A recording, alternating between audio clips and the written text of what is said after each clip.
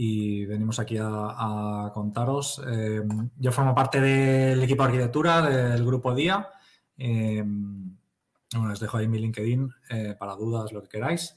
Y nada, un poco más allá del eslogan de la pieza clave de transformación, pues un poco lo que se trata es cómo hemos cambiado la forma de hacer las aplicaciones y, un poco lo que os vengo a contar es eh, el contexto de dónde veníamos, cómo estábamos haciendo las aplicaciones anteriormente y, cómo hemos ido evolucionando hacia una arquitectura, eh, basada en eventos y lo que nos hemos encontrado y pues al final un poco lo que esperamos evolucionar y si da tiempo una pequeña demo.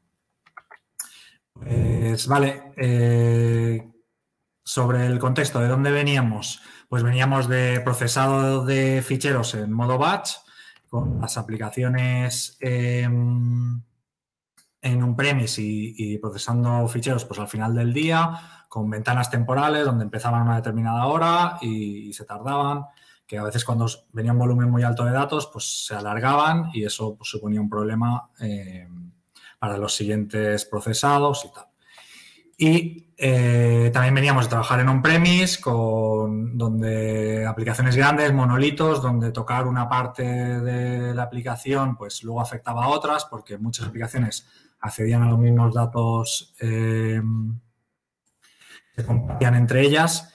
Y, y, además, como estaban on-premise, pues había que tener mucha previsión para la capacidad de procesamiento y, si era necesario emplearla, pues era negociar, eh, un poco colocar, comprar software, comprar hardware, colocar, etcétera, ¿no? Em, vale, y pues hacia dónde queríamos ir y un poco de las premisas de las que partimos, pues lo que queríamos era aplicaciones y la información que estuviera más organizada, donde hubiera interfaces más explícitas de, de qué es lo que estamos, qué información está consumiendo cada aplicación o cada sistema, cada servicio y, eso implicaba pues, estandarizar los nombres de los campos, versionar. Eh, pues también, ¿qué queríamos? Pues cambiar a un paradigma de publicación-suscripción, donde una aplicación pues, publica un dato y se identifica como la fuente del dato y las otras aplicaciones que necesitan esa información, pues se suscriben a esa información eh, y se suscriben, por tanto, al dato y no a la otra aplicación y entonces eh, no hay acoplamiento entre aplicaciones aunque hay dependencia de aplicación e información que necesita. Eh, ¿Qué queríamos cambiar también? Pues esto de las ventanas temporales y el procesado al final del día por algo mucho más continuo, donde la información, el momento en el que se genera, pues se transmite y, eso hace que está disponible y se amplían, por tanto, pues la capacidad de reaccionar, de interactuar con esa información. Y también basado en monolitos grandes, pues quitar ese, digamos, eh, aplicaciones gigantes y, maraña de, aplicaciones o de servicios juntos por aplicaciones pequeñas, eh, donde sea más sencillo evolucionarlas y por tanto eh, luego los cambios son más rápidos, la capacidad de llevar un cambio a producción pues es más rápido. Vale, y bueno, esto os habló hace tres años, un poco más, y ya empezamos a ver pues que, bueno, Kubernetes ya era un estándar en ese momento y, también pues la arquitectura orientada a eventos para todo aquello que queríamos conseguir pues encajaba bastante y, bueno, eso queríamos que escalaran las aplicaciones cuando hubiera más actividad durante el día, por la noche eh, desescalan y, y bueno, en cuanto a las aplicaciones, pues aplicaciones pequeñas y de responsabilidad limitada. Vale, entonces con ese contexto, eh, ¿qué hicimos? Pues poner el, evento en el centro y, vimos que estaba el estándar Cloud Event, que forma parte de la Cloud Native Computing Foundation. Y los Cloud Events, pues lo que nos dan es una capacidad de, de transmitir junto a la información que tenemos en el evento, junto al payload, junto a los datos que queremos enviar, pues una serie de atributos que identifican esa información. En este caso, pues eh, os pongo aquí los del estándar, lo que están en negritas son los obligatorios, el ID, eh, el origen de la información, la versión eh, del protocolo, que no del dato, y el tipo o una forma de identificar a ese, a ese evento.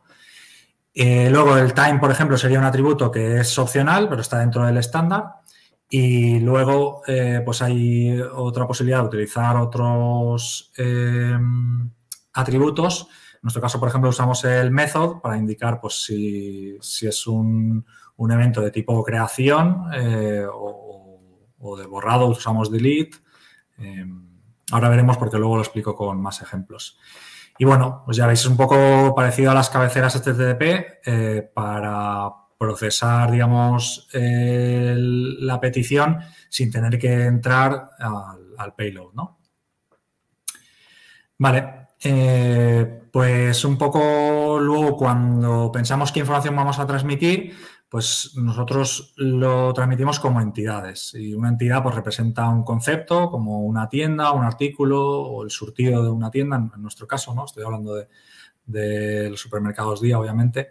Eh, y ¿Cómo vamos a transmitir la información? Pues usando el patrón Event Create State Transfer, eh, que nos dice que con cada evento la transmisión de la información va a ser completa, ¿vale? Y que es distinto de otros patrones donde envío solo el cambio.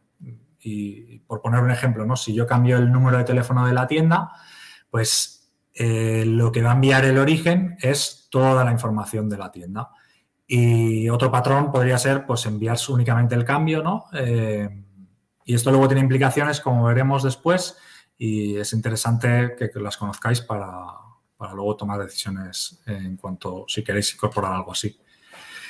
Em, vale, eh, pues aquí sería el ejemplo de la entidad tienda con su código de tienda, su tipo y su tipo de tienda, eh, la dirección, datos relativos a, pues, por ejemplo, cómo es la tienda, ¿no? El tamaño.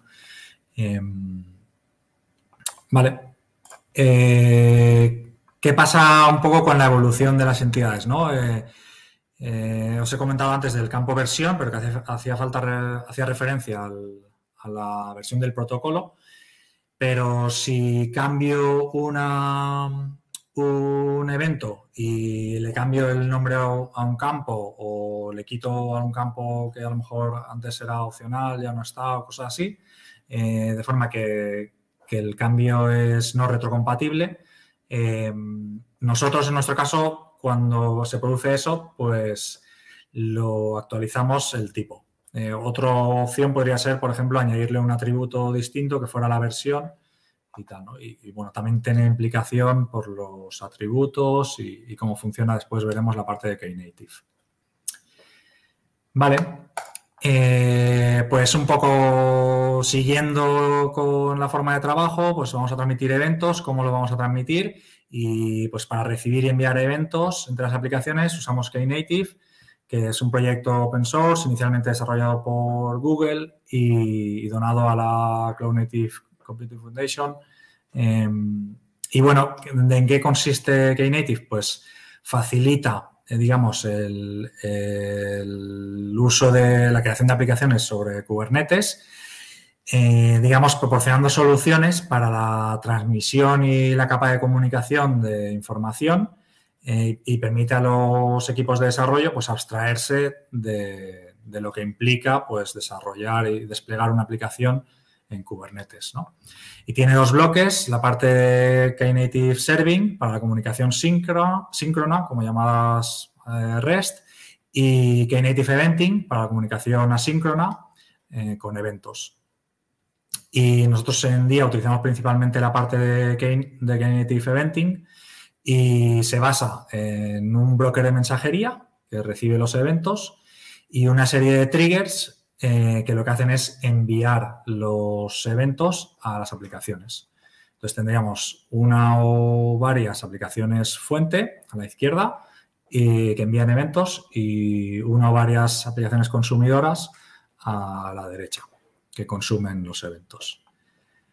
Vale, eh, bajando un poco al detalle, el broker, pues lo que expone es un servicio, un, servicio que llama Ingress, donde las aplicaciones que publican se conectan ahí mediante una petición post, pues envían la información. Eh, y ese servicio de Ingress lo que hace es persistirlo. Eh, la capa de persistencia, pues que necesita un almacenamiento temporal y alta resiliencia, ¿no? Eh, pues baja latencia, capacidad de manejar volúmenes altos y hay varias implementaciones. Eh, Kafka, nosotros utilizamos Kafka, otros podrían ser RabbitMQ o PubSub si estáis en Google Cloud. Eh, o, incluso se puede eh, hacer una propia, o, los compañeros que estaban explicando antes lo de Barco Streams, pues eh, si cumpliera el API de Knative para, para, esa, para la implementación del broker, pues funcionaría. Y, vale, como he dicho, la aplicación envía un Cloud Event al Ingress y si el Ingress le contesta con una respuesta positiva, ¿no? Pues significa que lo ha almacenado y la aplicación origen pues ya puede dar ese evento como entregado al broker. Y pues por ejemplo, si está con una transacción SQL eh, como transcurso de, esa acción, pues podría hacer el commit de la transacción, pues porque ya se garantiza que ese evento ha sido almacenado y, se va a transmitir a los consumidores. Vale, y aquí pues ya se empieza a ver eh, la diferencia ¿no? entre una orientación a eventos, de lo que sería servicios, ¿no? porque si yo llamara, o como hacíamos antes, eh, llamara a un servicio, pues me tendría que esperar a que el servicio me contestara que ya lo ha procesado y si el servicio llama a otro, pues se encadenan las peticiones y de esta forma, trabajando así con, eventos, pues ya sabéis que, se queda aislado eh, la aplicación origen de las consumidoras. Vale. Eh, el siguiente paso es el trigger. El trigger lo que pasa es que recibe todos los eventos del broker y filtra en base a los atributos. Eh, esos atributos, pues los que veíamos en la definición del Cloud Event y mm, en base a esos filtros, eh, los que pasan el, filtro se entregan al dispatcher que se encarga de enviarlo a la aplicación. Em, el trigger en, pues si usas Kafka, pues un consumer group o en PubSub sería una suscripción. Y bueno, eh, cuando el dispatcher lee los eventos, pues lo va entregando a las aplicaciones destino. Em, y aquí empieza a haber una diferencia también de otros modelos de trabajo, ¿no? De donde son las aplicaciones destino las que se van a conectar al broker de mensajería, ¿no? En este caso, Knative hace push y, lo que necesita la aplicación destino es un endpoint eh, donde recibir el Cloud Event con un post.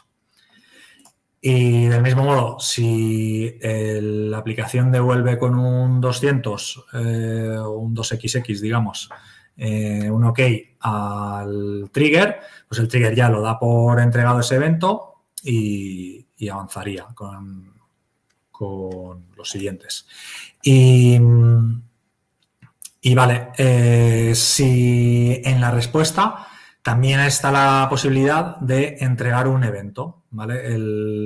Eh, la aplicación destino podría devolver el OK, digamos, con un contenido que fuera un Cloud Event y ese Cloud Event volvería a entrar a lo que es el circuito del broker y tal. Em, y bueno, por supuesto, esto es en, en paralelo y, sobre Kafka con escala a los distintos dispatches a la necesidad de, que, va teniendo. ¿Vale? Em, vale. Eh, siguiente, ¿no? Como, como el trigger hace push, ¿qué pasa cuando la aplicación eh, se, cae, tiene problemas o, bueno, es un problema de comunicación? Em, pues el broker y el trigger se pueden configurar para que hagan reintentos.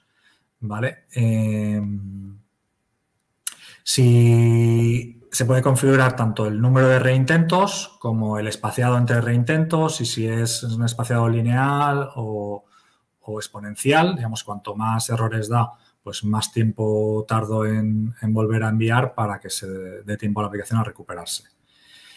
Y pasados ese número de reintentos que establezca como máximo, eh, se entrega el, evento que no se ha podido entregar a la aplicación destino a la cola del letter queue, que digamos, eh, decide qué hacer con ese evento no entregado. ¿no? En nuestro caso, pues lo persistimos para que en un log, para que pueda ser analizado eh, posteriormente o, se pueda reenviar. Bueno, funciona un poco de qué es lo que ha pasado con, ese evento. ¿no? Em, vale, eh, pues aquí un poco mezclado con lo que os decía antes, que las peticiones son en paralelo y, los errores que se pueden dar aquí con los reintentos. ¿Qué ocurre? Que si me entran al broker eh, eventos en un determinado orden, ¿no? Primero imaginaros el verde y después el azul, pues con el tema de los reintentos y además con base que va en paralelo y tal, eh, se podrían reordenar. Y por eso es, buena práctica y, sobre todo desde el diseño de la aplicación, pues trabajar con, con el concepto de la idempotencia, que como ya seguramente conocéis, pues es que el, estado del sistema no me cambia, aunque me envíen el mismo evento pues una o cien veces, y, la obsolescencia, que tiene que ver con que es posible, como se me han desordenado, es posible que me llegue un evento eh, que está desordenado, que, que digamos es anterior a otro que ya he recibido. Y aquí lo ligo un poco con la parte anterior también del patrón Event Create State Transfer y con la capacidad de, enviar toda la información con cada evento, porque eh, en función de cómo hagáis esta parte, eh, si, el, Cloud Event tiene únicamente eh, el cambio producido, pues a lo mejor un evento anterior, pues no lo puedes descartar porque, porque la información te sigue sirviendo, ¿no? Si ha cambiado el teléfono una vez y después cambia la dirección, pues los dos eventos te sirven.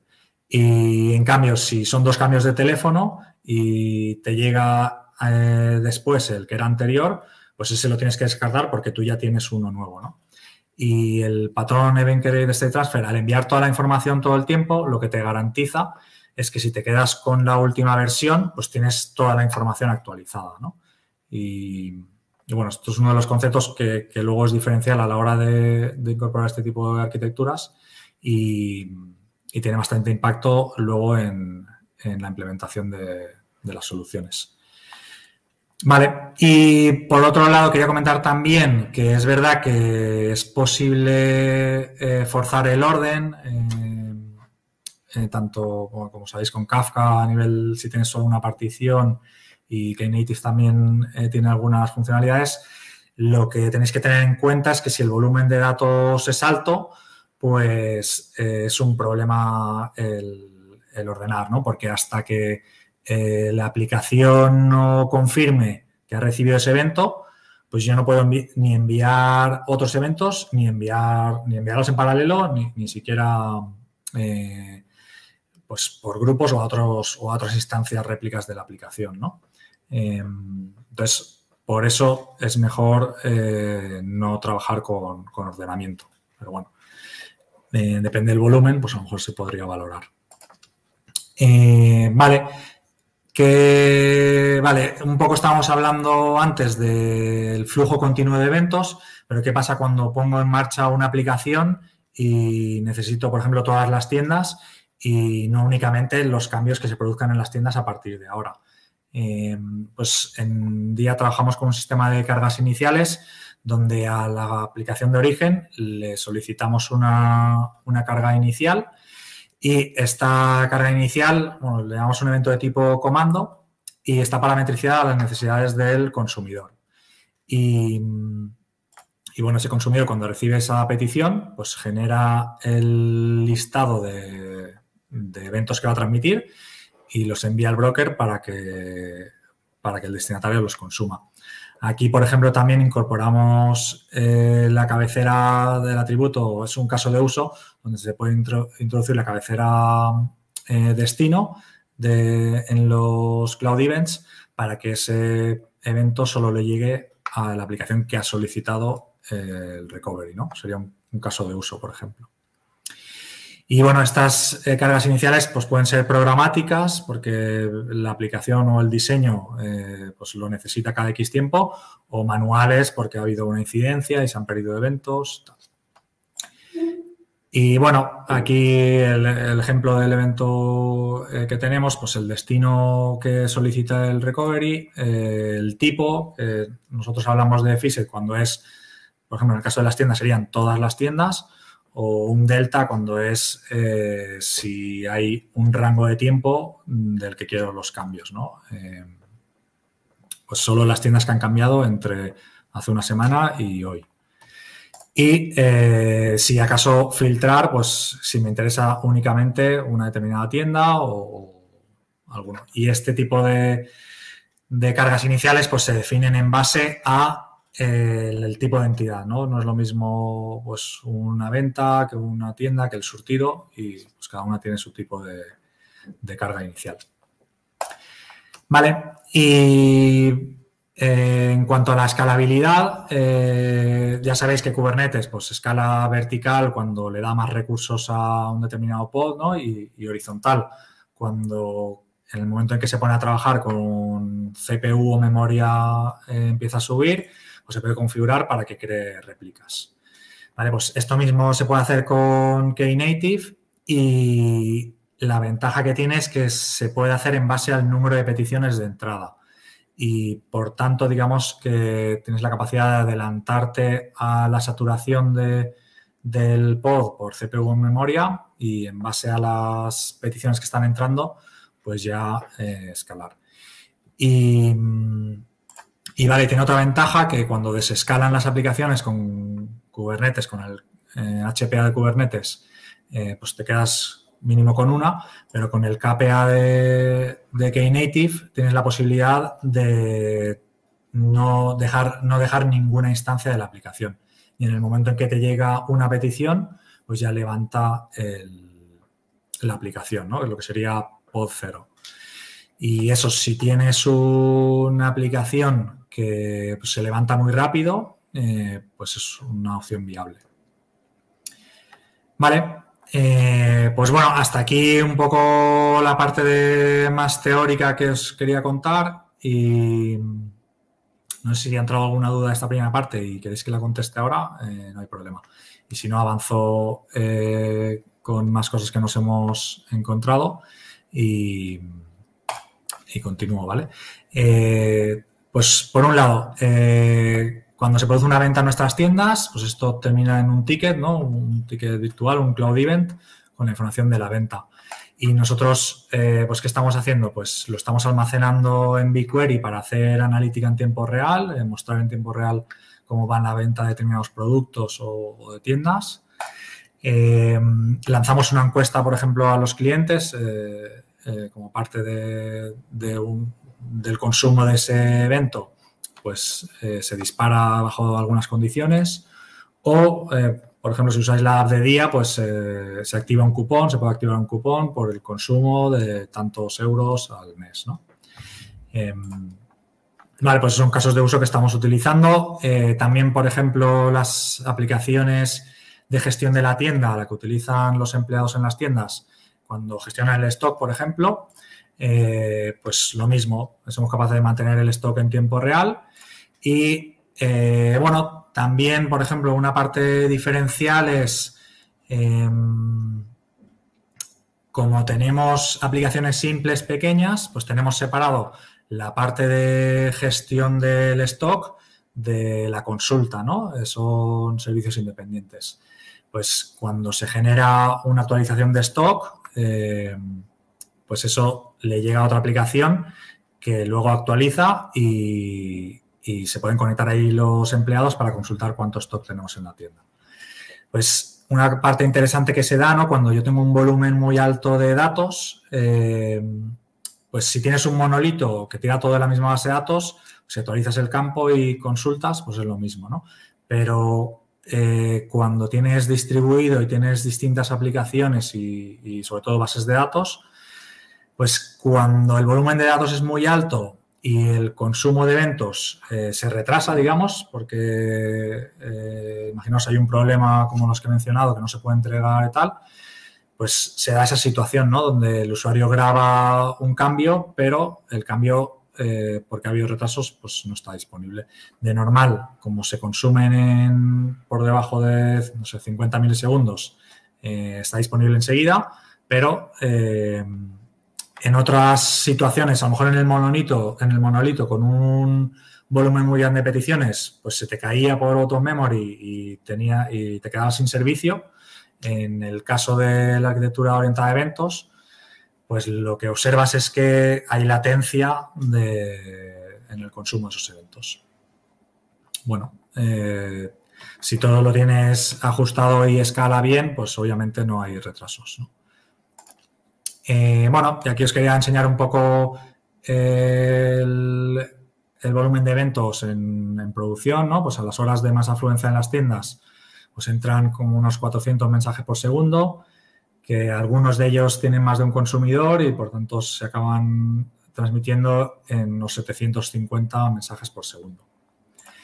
Y bueno, el servicio del ingres con las federaciones que recibe, la duración de las peticiones de entrada, eh, por lo general por debajo de 50 milisegundos, aunque algunas, por ejemplo, porque el tamaño del evento es más grande, pues tardan más.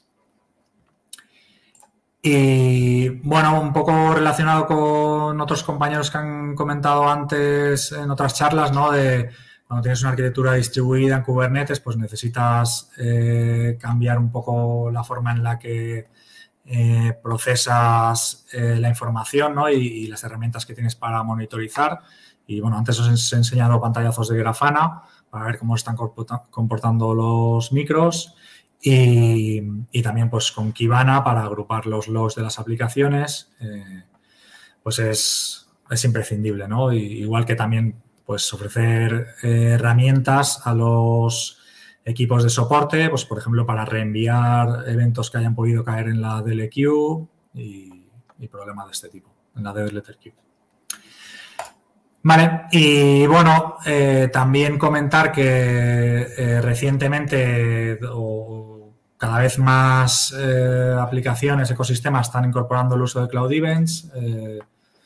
pues os dejo por aquí algunos de los tenéis en la en la web de Cloud Events.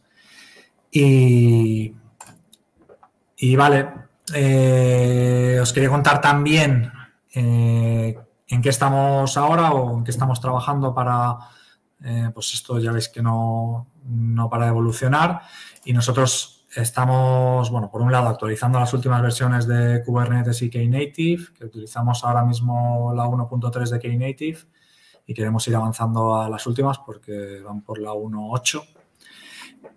Eh, el uso de Trigger Mesh, que digamos que ofrece funcionalidades para eh, todo lo que os he contado eh, funciona intracluster muy bien y mm, qué ocurre cuando tengo distintos clusters o, aplicaciones externas que me envían eventos o que yo quiero enviar eventos a una aplicación externa, eh, pues Trigger Mesh facilita esa conversión de, entre datos y parte de seguridad y algunos temas relacionados.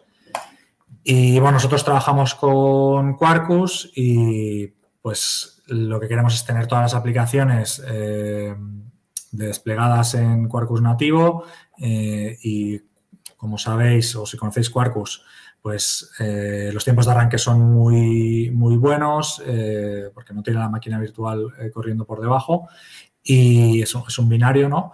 Y entonces te da capacidad para lo que os contaba antes de POD0, pues tener digamos, eh, cero aplicaciones desplegadas, sobre todo cuando tienen poco uso y en el momento en que llega una petición, pues se levanta la aplicación, el pod, la atiende y se vuelve a apagar, tipo serverless.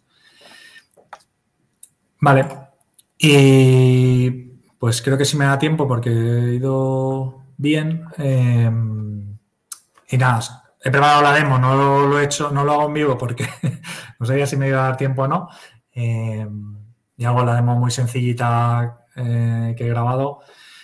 Eh, vale, la demo, digamos que utilizo, pues es un clúster de Kubernetes, el cliente de Knative, que tiene un cliente de Knative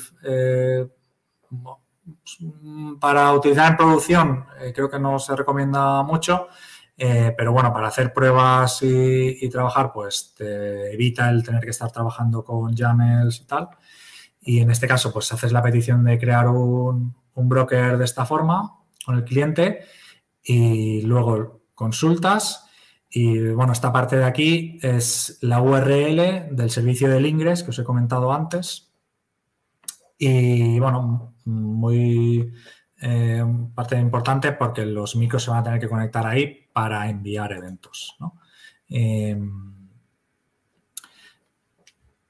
y luego a continuación, eh, vale, la aplicación que, una aplicación muy sencillita, eh, bueno, que tiene su path sobre barra hello y bueno, tiene un servicio get que te vuelve una información. Y lo que os comentaba antes, para el punto de vista desarrollador, pues únicamente necesito ofrecer un endpoint, en este caso un post, donde voy a recibir eh, un Cloud Event y, bueno, en este caso lo único que hago es sacar por el log la información recibida. Pero yo como desarrollador, pues no me preocupo ni dónde está el broker, ni dónde me tengo que conectar, eh, porque a mí lo que me va a llegar es un post con, con el evento. ¿Vale? Em, entonces, lo que voy a hacer es desplegar esta aplicación en el clúster. Aquí con el label app demo app y bueno, la versión que, que implementé.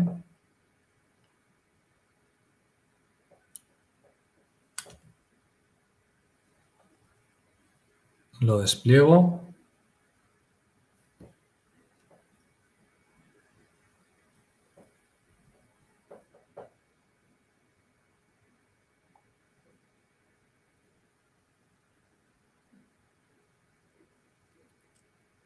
Vale, el servicio asociado a la aplicación con el mismo selector del label que tenía la aplicación.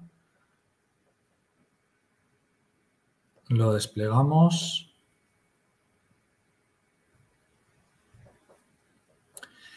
Y ahora el, trigger eh,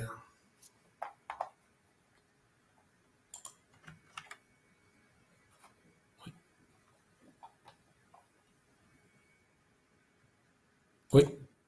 Eh, vale, creo que se me ha quedado un poco ahí eh, frito. Vale. vale, los logs de la aplicación que he arrancado, perdonad, y el, vale, el trigger, eh, donde le decimos el broker de donde se va a desplegar el trigger, el tipo del evento que voy a recibir, eh, que esto ahora lo explico, que es un tipo especial de un, un servicio que ofrece Knative Eventing para enviar eventos como si fuera un cron cada cierto tiempo. Uy, se me ha ido el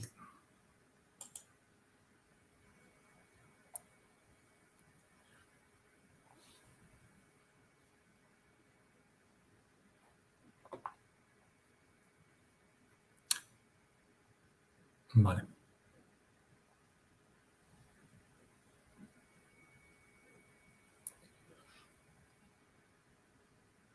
Vale, el tipo que os decía y el servicio donde se va a entregar el, broker sobre Hello.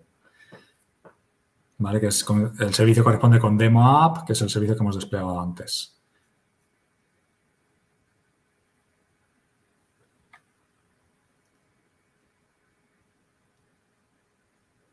Vale, aquí un poco lo que os comentaba del filtro. Cualquier evento que cumpla que es el atributo type corresponde con ese valor, eh, se despliega ahí, se entrega en ese servicio.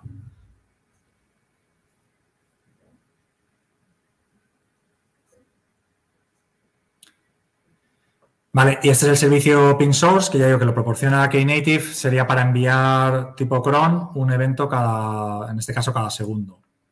Eh, y bueno, le he puesto el mensaje de hola KCD y hay que indicarle el broker donde lo va a entregar ese servicio.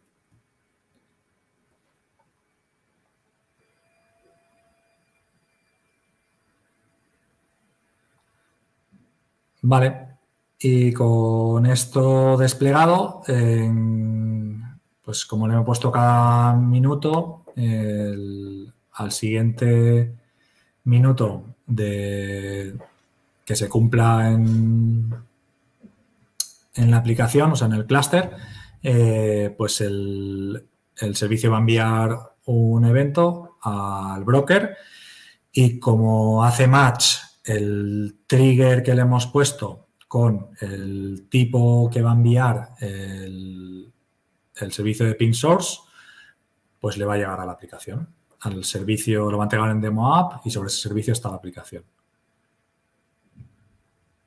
Vale, bueno, muy sencillito, pero para que veáis un poco que la aplicación pues no necesita nada más que exponer un endpoint post. Y aquí pues la información que ha llegado con el hola KCD.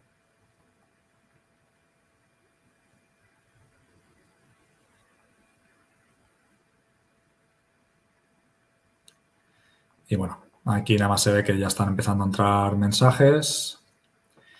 Y nada, eh, creo que actualizo ahora el broker para ponerle reintentos y tal. Bueno, normalmente, bueno, como nosotros trabajamos, y yo creo que como trabaja la mayoría de gente, la configuración del broker pues es por YAML eh, y, y bueno, pero si tenéis eh, curiosidad, pues el, cliente Knative pues lo, lo, permite hacer también. En este caso le pongo pues que se entregue cada tres segundos, eh, si hay fallos hasta cinco veces. Vale. Pues eso sería. Em, creo que está todo. Sí, eh, muchas gracias, Carles. Eh, muy interesante. Sí. que tenemos algunas preguntas en el chat. empiezo con la primera de Elías. Dice, muy interesante. ¿Especificáis los campos de los payloads con alguna especificación? Y entre paréntesis nos dice Async API. vale, lo que tenemos es un equipo de gobierno del dato que, que, lo que hace es un poco estandarizar los campos que utilizamos para que pues en todos los eventos, ¿no? Si hablamos, por ejemplo, en nuestro caso del código de tienda, pues store code, que todas hablen eh, con el mismo dato, ¿no? Y no unos le llamen de una forma u otra. Y si hay, algo de eso por ahí, creo que em, para retail creo que hay algo de, campos estándar y tal, pero ahí me pillas un poco porque yo no estoy muy metido en, en esa parte. Lo que tenemos es eh, cuando hay una aplicación que quiere o un equipo que quiere enviar un nuevo evento, se comunica con el equipo de gobierno de, esta parte de integración y ya se define esa, qué campos se pueden utilizar para esa información. Muy bien. la siguiente es de Jorge y nos dice, escalando en base a eventos, ¿no os encaja queda? Pues nosotros, eh, la verdad, eh, hasta ahora estamos utilizando el escalado en base a, consumo de CPU.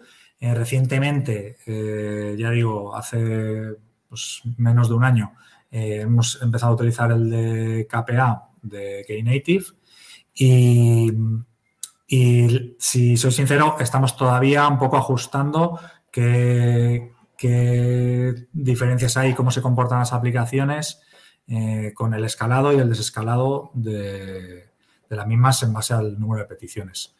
Pero no, hemos explorado otras, otras alternativas. Eh, tenemos otra de, Job Cespedes que dice, ¿qué broker recomienda para Knative Eventing? Pues nosotros al principio estábamos utilizando Nats y, ahora utilizamos Kafka. Y bueno, mm, eh, nosotros trabajamos sobre Google Cloud y también queremos hacer la prueba de trabajar con PubSub eh, porque es un servicio gestionado y ahora mismo, por ejemplo, el Kafka pues lo tenemos dentro del, del clúster con Streams y tal. Y claro, el servicio gestionado con PubSub eh, pues nos quitaría a veces problemas que hemos tenido, pues en particular, por ejemplo, con los discos eh, de Kafka, em, o con a veces que, que se le ha pirado un poco el offset y, por ejemplo, al despegar un trigger nos ha pasado que ha empezado a, enviar todos los eventos que tenía almacenados desde el principio de los tiempos, no solo los nuevos. Eh, y bueno, tenemos un periodo de retención, a mí no me acuerdo, creo que son siete días. Eh, y, esos problemas hemos tenido, por ejemplo, con, Kafka. Y si pudiéramos o queremos hacer la prueba de, probar el de PubSub, porque es un servicio gestionado y, nos quitaríamos ese problema. Vale. Eh, también de, de nos dice, ¿es la persistencia necesaria desde un inicio eh, desde un inicio o a partir de qué tamaño según el número de microservicios? La persistencia del broker, eh, creo que por defecto te da un. que Native viene con un broker en memoria, pero que lo pone claramente en la página, que no te lo recomienda. Eh, no sé si la preguntaba por ahí.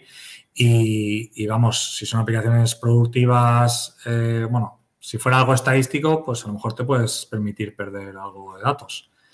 Pero a poco que, que, que sea pues algo productivo y, que necesites transaccional, pues yo creo que es requisito desde el minuto cero, sí. Vale, y las últimas dos. Eh, ¿Cuándo es apropiado enviar el estado parcial en los eventos en lugar de todo el estado? Eh, ¿Cuándo se recomendaría? Es la pregunta. Eh, sí, entiendo que sí. O en este caso habla de apropiado, pero entiendo que sí, que recomendado serviría también. A ver, depende de, cómo sean tus aplicaciones y cómo lo quieras gestionar. Eh, las implicaciones de enviar solo los cambios, pues es que eh, cada evento es más pequeño, porque yo envío, imagínate, el cambio de teléfono que he explicado antes, pues solo envío código de tienda y número de teléfono y no tengo que enviar toda la información de, la tienda. Pero ahí ya empiezan a haber implicaciones eh, de qué ocurre cuando se desordenan y tal.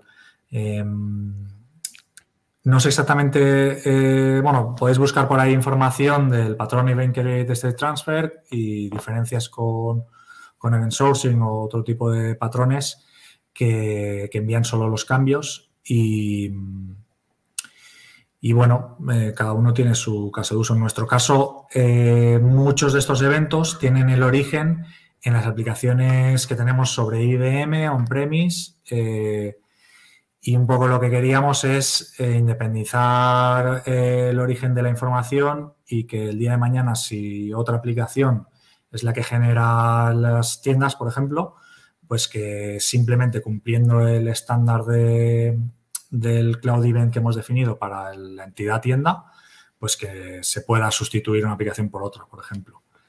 Y eso creo que es más fácil eh, con ese patrón. Pero bueno. Mm, Perfecto, pues mira, eh, a ver, da tiempo creo que a una más. Dice Alberto, soy, ah, no, perdón, Alberto no, Juan Torres.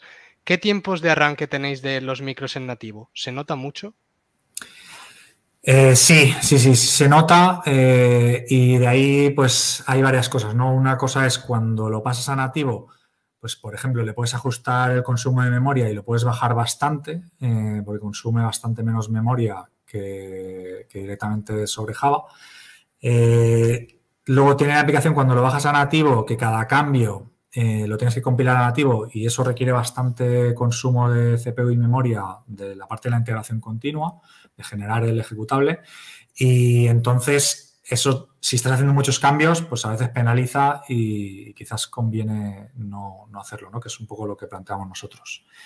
Y luego, en cuanto a tiempos de arranque, eh, creo que es lo que me has preguntado, perdona, sí se nota, eh, pero se ve afectado también con otras cosas, ¿no? Con, por ejemplo, el, contenedor de Istio, que viene, eh, en nuestro caso, eh, viene con cada pod, pues porque sabes que hay un init container y, arranca primero el Istio, entonces eso se ve penalizado ahí. Y, por ejemplo, con utilizando KPA, pues también a cada o sea, el escalado que decía antes por Knative, a cada pod le añade otro, otro contenedor ¿no? Eh, dentro del mismo pod. Eh, ya entonces tienes tres contenedores. Entonces ya no solo es el tiempo de arranque de la aplicación, sino de lo que tienes en tu pod y tienes que un poco conjuntarlo todo para que ver qué es lo que te afecta. Y en nuestro caso, lo que es la aplicación en sí, los tiempos de arranque son súper bajos cuando está compilado nativo. Eh, pero ya digo que se ve afectado por otra parte. Muy bien, vale, y ya la última que ha entrado justo ahora y ya si dejamos todas resueltas, dice Juan Torres, entiendo que event sourcing puede ser interesante cuando la fuente de datos del mismo evento son múltiples y no tienen conocimiento del estado total. Es el destinatario el que, es el, destinatario que conoce el estado. No sé muy bien si es una pregunta o si busca afirmación. Sí. Sí, tiene sentido totalmente. Si tienes más de una fuente de, datos, eh, pues podrías plantearlo así porque la otra no tiene toda la información, ¿no? Eh, pero bueno, mm, en nuestro caso lo que queríamos es, eh, por los problemas que he dicho de idempotencia y obsolescencia, tenerlo todo recogido y que todos los consumidores sepan qué esperar de la misma entidad. Muy bien. Pues nada, eso es todo. Muchísimas gracias, gracias Carles, otra vez por, animarte a presentar. Y nada, eh, nos quedamos ya directamente con eh, la closing keynote, así que ahora enseguida eh, Alex pasará. Muchas gracias, Muchas gracias, Carles. por escuchar.